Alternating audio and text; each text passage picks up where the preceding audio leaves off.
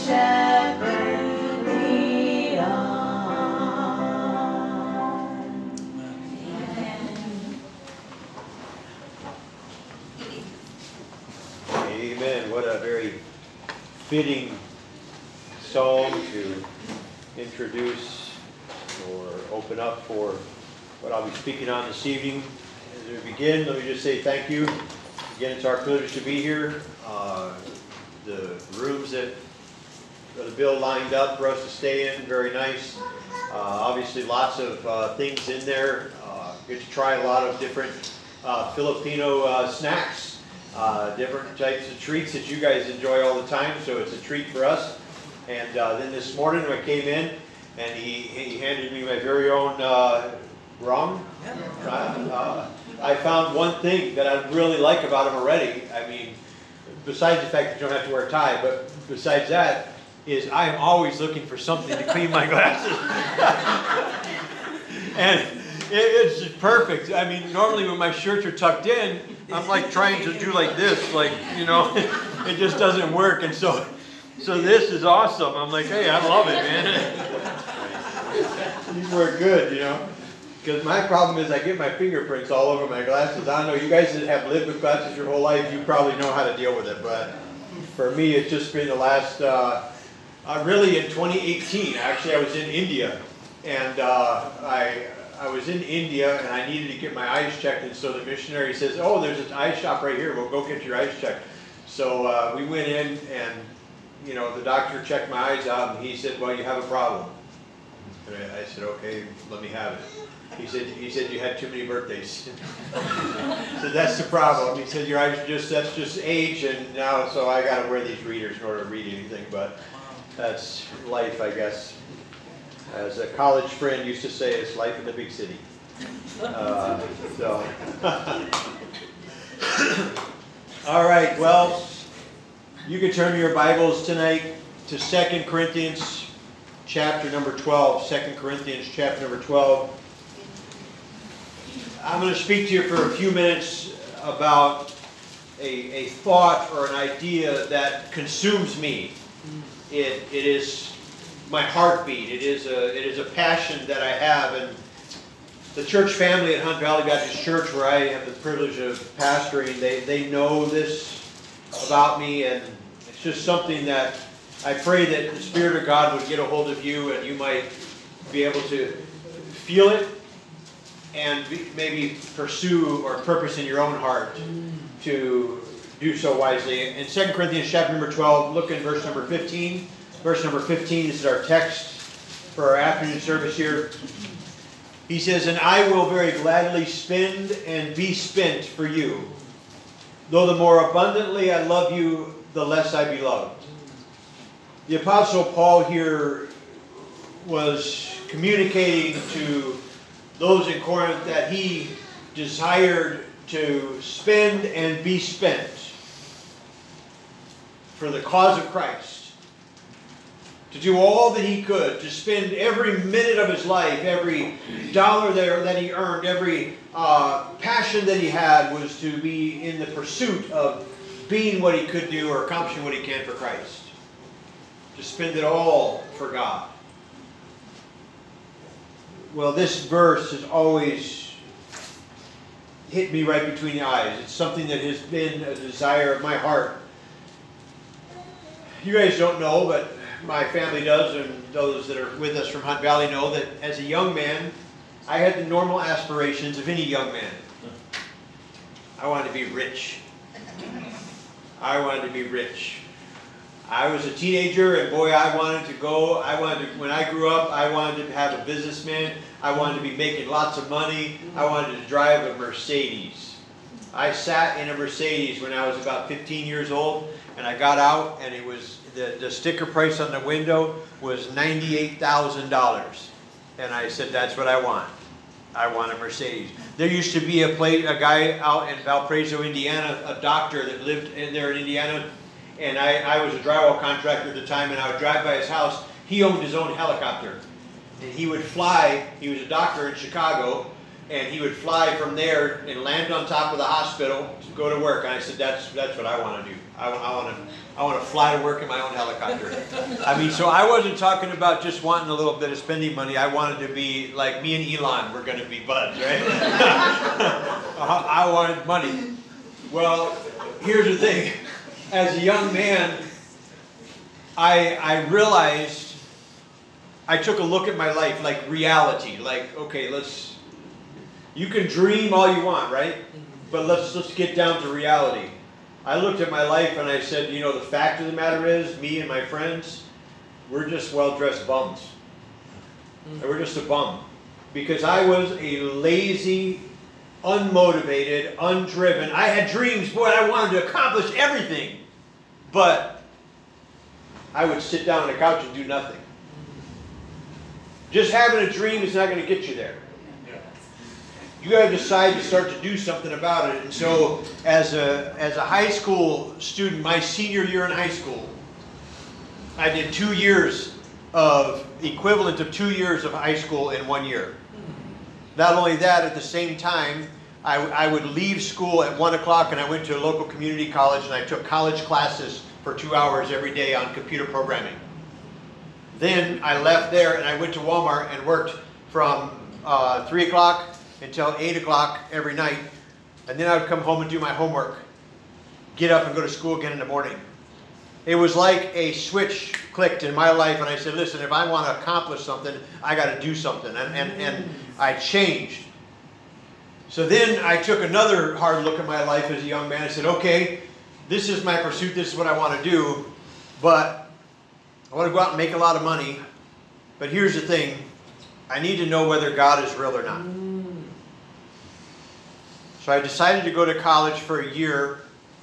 And I remember it like it was yesterday because I pulled up onto the campus of the school. I parked my car right in the front of the church. And I bowed my head right there and I says, God, I'll give you one year. If you'll get a hold of my heart, if you'll show me you're real, I'll be serious about it. I'll be, I'll be real. If you're real, show, show me you're real. Do something in my life. Change me. And I'll spend my life for you. But if something doesn't happen this year, I'm going to go make money. That's what I want to do. And during that year of college, God changed my heart. God changed the desire of the young man who wanted to go and earn a lot of money with his life to wanting to go and serve God with his life. Amen. To wanting to please the Lord. God says that He will give you the desires of your heart.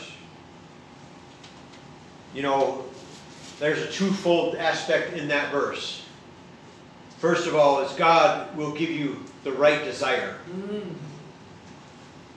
It's not just that God will give you what you want, but if you're honestly seeking Him, God will give you the right desire. He'll give you the desire of your heart. And then He will bring it to fruition in your life. Yeah. So both aspects are true. And as a young man, uh, I was able to experience, I, I owned my own business while I was in college. And at one point had 23 guys working for me. Uh, from a world standpoint, I was very successful. And I was just a young college student. But you know what? None of that mattered to me. That's not what I was pursuing at that time. God gave me that desire just to say, okay, you put me first, here you go. Hmm. And I didn't really desire that. And as soon as I could go into the ministry, I went, I went from making about $65 an hour uh, to making about $2 an hour in the ministry. And that's what I made for a long time in, in the ministry. But it's not about what you make, it's about what does God want you to do. I desire to please God, and ultimately this verse here, I would very gladly spend and be spent for you, became a focus, a passion of my life, to do what God wanted me to do. Through my college years is when God gave me the verse that became my theme verse for my life. I'm sure you guys know it. Maybe the song.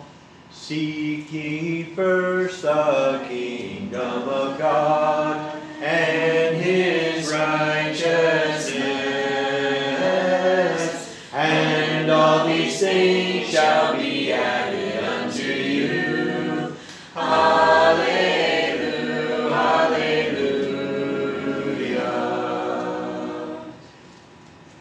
that verse became my life's verse because I purposed in my heart to seek God first. Amen. Whatever God was going to give me after that, whatever God was going to bring into my life was okay with me because I desired to seek Him. I would like to preach for you just a few minutes on the idea of spent or squandered.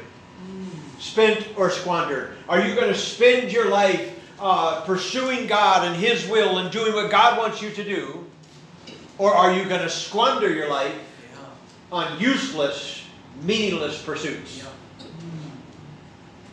Now, if I took a dollar and I was going to pick on WT, but he left again. Oh, there he is. Uh, and, and, gave it to WT and said, uh, Here, I got a dollar for you. You can go spend it on whatever you want, but don't squander it. And if he took the dollar and he went to the store and he says, Oh, I can buy 100 of these Mentos. You got to buy 100 Mentos. And then on his way home, he opened up 100 Mentos and ate them all. and he got home and he's like, Oh, I'm full. Oh, but oh, they were so good. He squandered a dollar, right? Yeah. But if he went out and uh, he said, boy, at a used bookstore, I could buy this Bible for a dollar. He spent it. Mm. Right? He spent the dollar on something of value, something worth something, something that was going to last some time, something of meaningful uh, sustenance. Well, we have our lives, and the most valuable thing we have in our life is the time that we have to live. Yeah, that's right. Yeah. You can go out and earn another dollar. You cannot earn one more minute to live. You can't you can't get back another another minute. You can't get back another opportunity. Once today is spent, it's gone. Yeah. And you you chose today to spend your time today in God's house, and that's worthwhile. Amen. That's right. To spend your time there. Other people chose to squander their Sunday. Mm-hmm. They took their Sunday and they went out and they spent it on meaningless things and all the time that they had. And maybe they washed their car. You know what? Their car is going to get dirty again. Maybe they went and they went to do some grocery shopping and they got some errands done and they went down and visited a friend or something, but they took all that time and spent it on those things, but it's all gone and they'll never get it back. That's right. So that what I want to ask you tonight is are you spending your life on meaningful things or are you squandering it on useless, meaningless endeavors? I can't tell you, beloved, that since the time as a young person there, college age, that I purposed in my heart to seek first the kingdom of God, that there weren't times in my life and ministry where I got distracted, where I got kind of off course and maybe uh, spent a little bit too much time on something that didn't matter as much. And God had to get a hold of my heart again and say, wait, where are you spending your time? What is your life verse? You're spending your time on this. You're squandering it instead of spending it on something of value. In Mark chapter 4, verse number 19, it says, And the cares of this world, and the deceitfulness of riches, and the lust of other things entering in, choke the word, and it becomes unfruitful. You know, sometimes the cares of the world, the deceitfulness of riches, the desire to have wealth, the desire to acquire and to have more of this world's goods, and all the energy and, and uh, time invested in trying to get more of that, that's going to be meaningless. It's going to be of no value. Sometimes the world and the flesh, the devil, these things distract us. Sometimes they pull us away from what should be our pursuits. They choke out the Word of God and what He wants to do in our life. That's why God has services like this. That's why we come back to church so that God can focus us again and Amen. help us to get on track to do what God wants us to do. Yeah. You know, I love the stories of David. That man, the Bible says, was a man after God's own heart. He went after it. He went after God's heart. He desired to know God and be known of God, and he wanted to please God. Now, did David always get it right? No.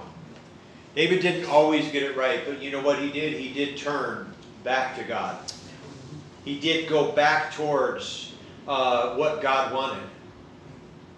Unlike Solomon, whom the Bible says is the wisest man that ever lived, but the Bible said he allowed his wives and concubines to uh, turn his heart away from God. And the children of Israel, their heart was turned away from God. He didn't turn back to God. Da- David, although he messed up, he still had a heart for God. And that's what we need to have and realize when God's calling us back saying, hey, you're getting a little distracted. You're getting off. You're getting a little bit too far. Child, come home. You're going to either spend your life on doing what God has for you to do, or you're going to squander it on your own desires. It's a choice we all got to make. There's some younger men here, younger ladies here, and you're at that stage, that age of life where you're deciding where I'm going to be, what I'm going to do. You're looking at your life and saying that this is what I want to do. But, uh, you know, if you're a child of God, that you're not your own. You've been bought with a price. Amen. Therefore, the desire, the passion needs to be, God, what do you want me to do? And we need to humbly submit. Say, okay, God, this is what you want me to do. This is what I'm going to spend my life on. I'm going to take my hours and my days and my time and energy. I'm going to spend my life doing this instead of squandering it on useless, meaningless things. There's people today, they spend so much of their time and their money on just, we could even say like our physical, like how we look. I have no idea what you call it. You ladies know all these things, the different creams you can buy, you know, make your face look good, keep the wrinkles off, and uh, you know, in my shower at home. Just so I'm not exaggerating, I on purpose stopped and counted the bottles of stuff that's in there. There was 27 bottles of different things in our shower. Now, I only need one. one bar of soap is enough for me. One, one, one little, I mean, whatever is enough. I have no idea why I need stuff for straggly hair, or for dry hair, or for wet hair, or for oily hair, or, you know, for what I'm just saying. We can, we can spend our money on, on so many things. And hey, ladies, I praise God for you, and I, I am I digging a hole? yeah. No, I, I'm just saying, hey, you're going to spend your money on something. You're going to spend your time on something. You know, guys, you have your own pursuits. Yeah. I don't know. I mean, I, I like golfing.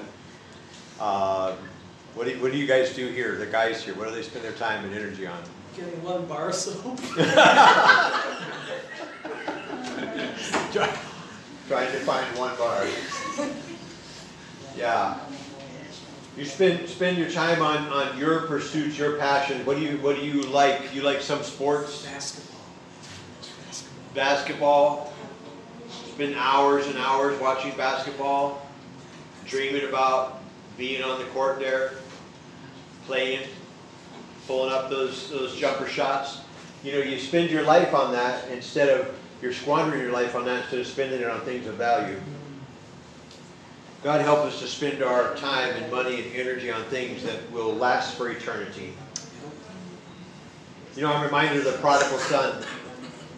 The prodigal son, the Bible says that he had spent mm. his living.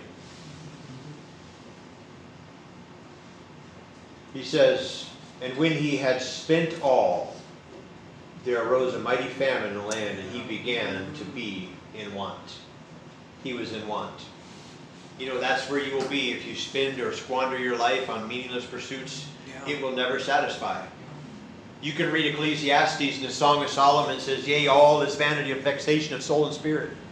He says, I tried pleasure. He says, he says I, I gave everything that my heart desired, I gave it to it. Anything I wanted, I, I was able to have. And he said, I found that it was meaningless. It meant nothing and he, he talks, he goes through page after page and describes life and the pursuits that he had, and it was all meaningless. It meant nothing, and so much of our life can be that way. You'll always be in want. The Bible says the eyes of man are never satisfied. It doesn't matter. Uh, you, you can uh, look and say, boy, I really want to get that that scooter. I've been looking for that scooter, and I want to get a scooter. And man, I, and you, you're looking at it, and you, you desire it for years, and, and, and you save, and you look, finally you're able to get that scooter, and you find out that, oh, that scooter is only 125 cc's, but there is one I just saw, and it's 225 cc's, and it's going to do, oh, that would be so much stronger, so much better. And the eyes of men are never satisfied. That's right. But I'm saying you're going to spend your life trying to acquire everything that this world has to offer, and you're still going to be in want. You're never going to be satisfied, but when we are spend our life on Jesus Christ, Amen. you are satisfied. That's right. You are satisfied. What are you spending your life on tonight? What are you spending your time and your energy, your, your dreams and your aspirations, your focus? What are you spending your life on? What are you spending your life on? Some people are spending their life on this right here. Hours and hours and hours.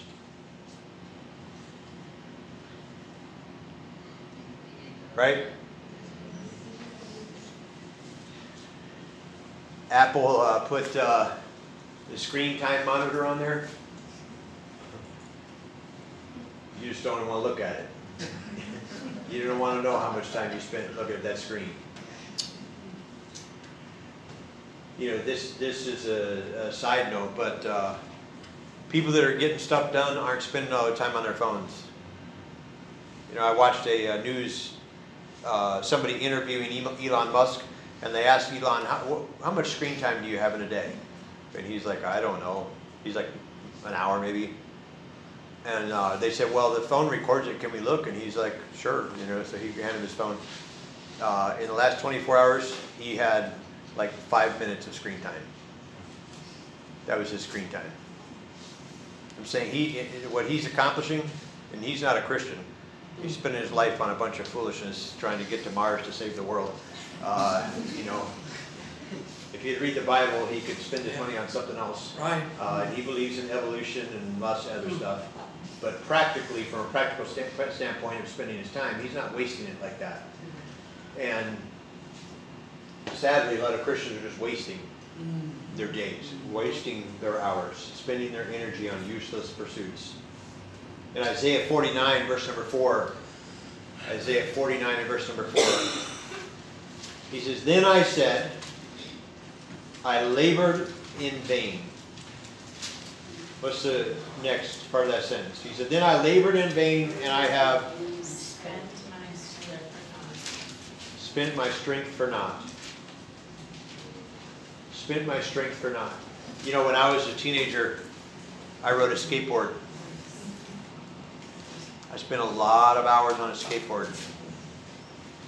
From the world standpoint, I was pretty proficient at riding a skateboard. And uh, I can look back at that and say, you know what? I spent that time for naught. Thousands of hours I spent on a skateboard. And it was wasted. It was meaningless. It meant nothing. I got nothing out of it. Nothing I can use today. No skills outside of once in a while when I'm out visiting and I see some kids riding a skateboard. I can say, hey, can I try that? And they, they're pretty impressed that an old fat guy can ollie. Uh, you know, um, I can still do a trick or two. And so they're pretty, they're like, whoa. And the, the, worst was when one kid goes, man, you're old school. I said, oh, thank you. Uh, but outside of a couple things like that, it was wasted time.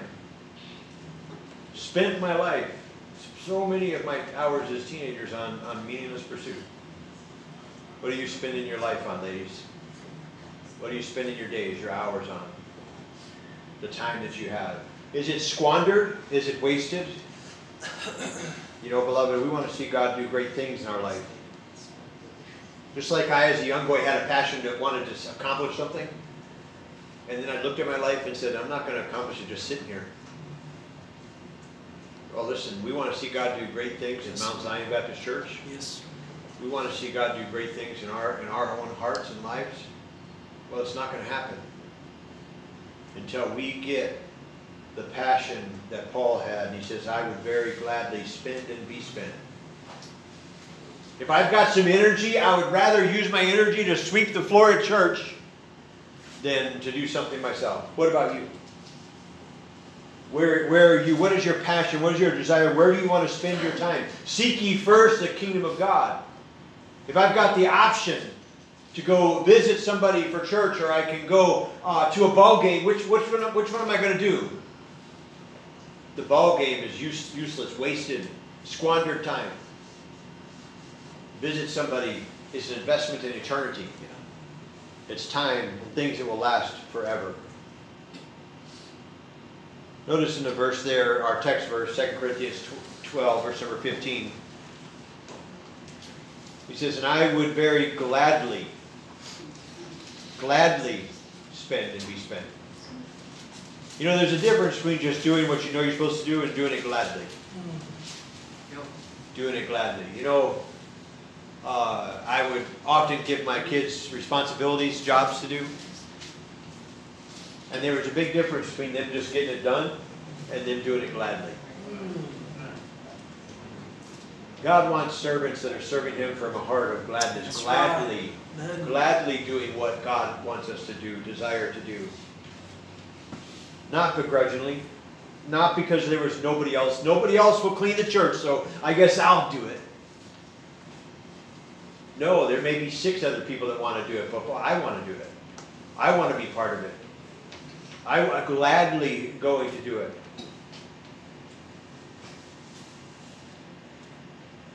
Are you truly glad for the opportunities that you have to serve the King?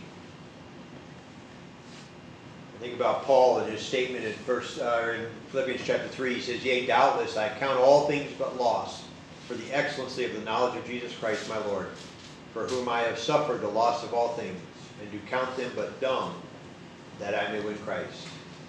You think about the Apostle Paul when he first went, uh, before he became a Christian, how zealous he was, how fervent he was as a Pharisee of Pharisees. I mean, he, he pursued his beliefs and what he wanted to do at that time with, with all fervency. But then when he got saved, he said, Boy, I count all that energy, all that effort, all the time I spent on all that stuff as useless, as wasted, except for the excellency of the knowledge of Jesus Christ.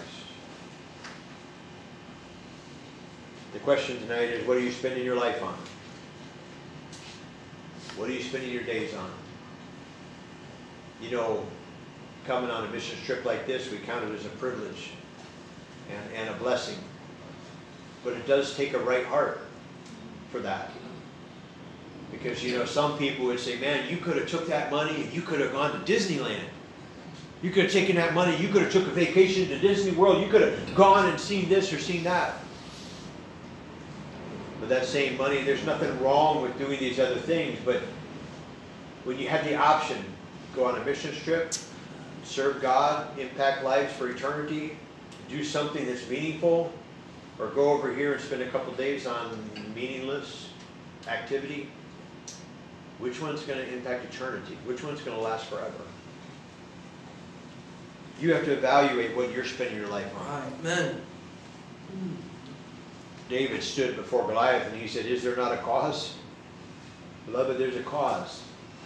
There's a cause that we've been called to. There's something bigger than us, something more important than our own desires.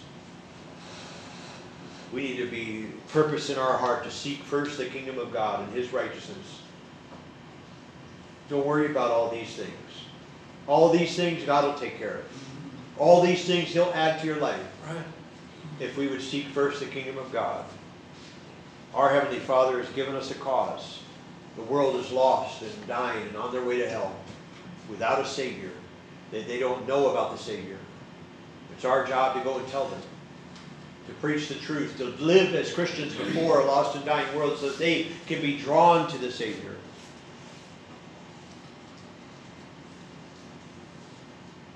You know, most people today, they think about spending their time. They, they, no, most people today wouldn't think anything about sitting down and spending, or should I say squandering, two hours of their life to watch a movie. Wouldn't think anything of it. Oh, that's just normal. Um, but then, what about spending two hours knocking doors? Oh, I don't know, Pastor, I just don't have the time. I just can't find time to do that.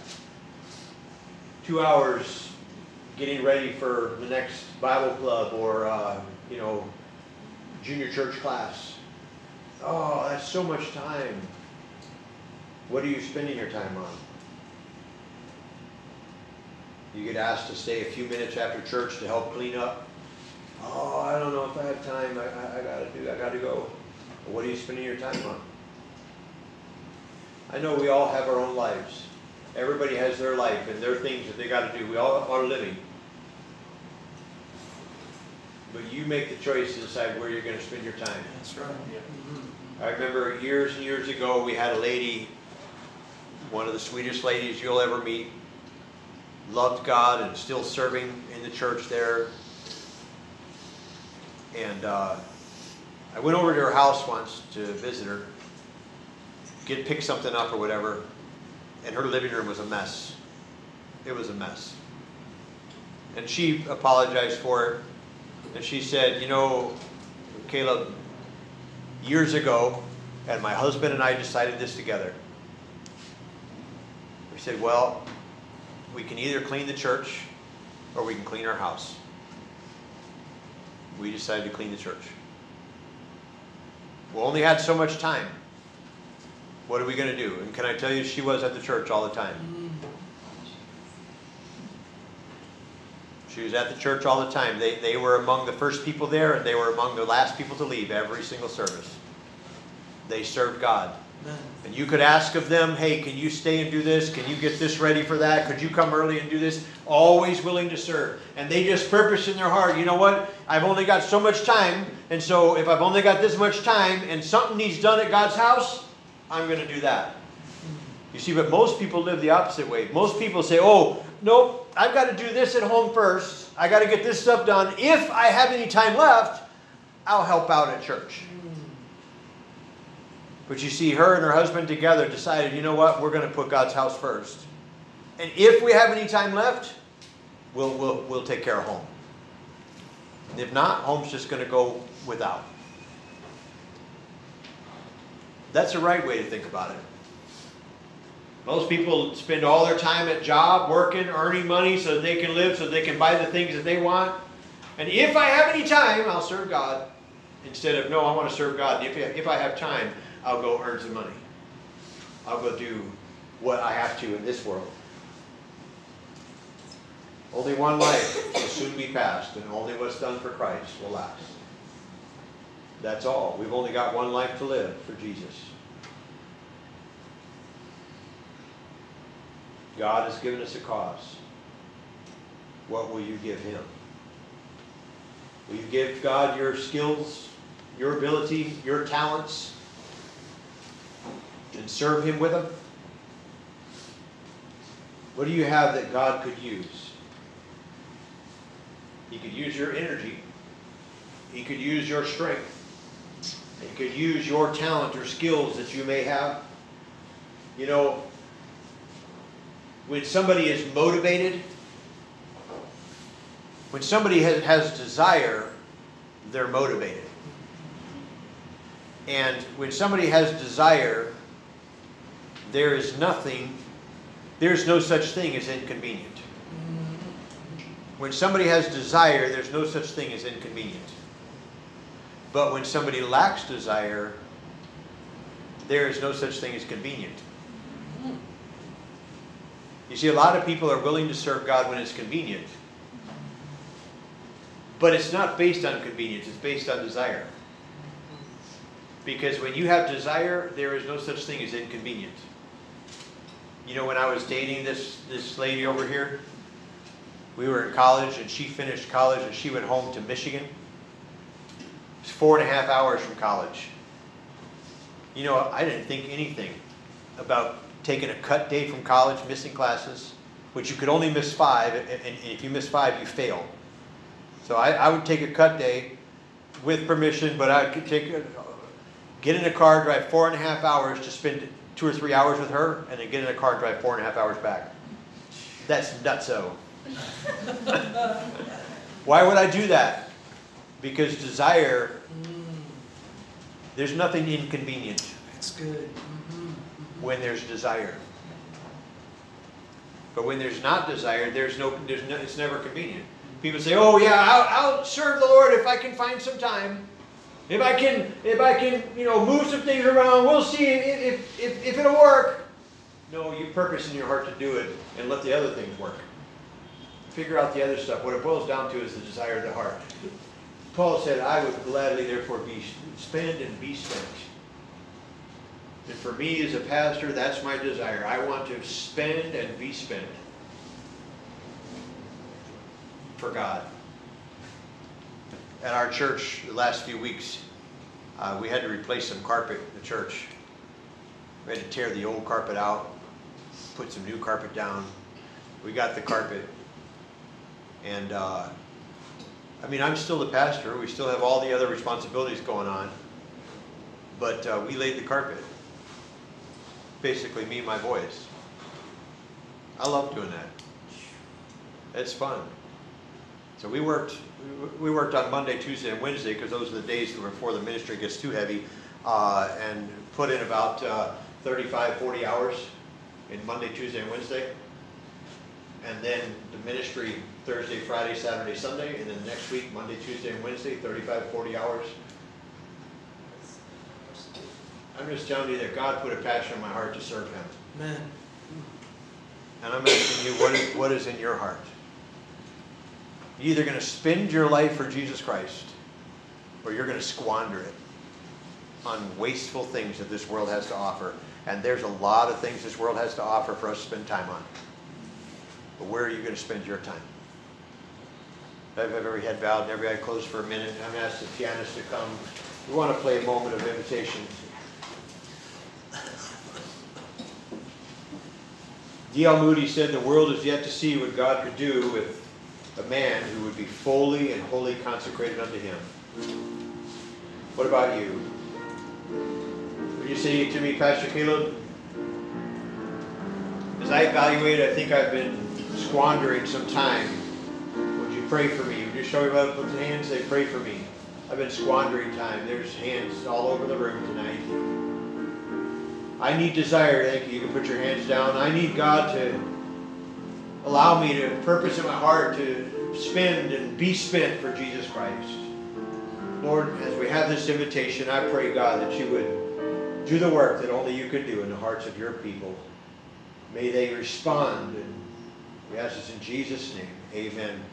Bill, Pastor Bill, would you come as the invitation continues? If God spoke to your heart, you do what God wants you to do.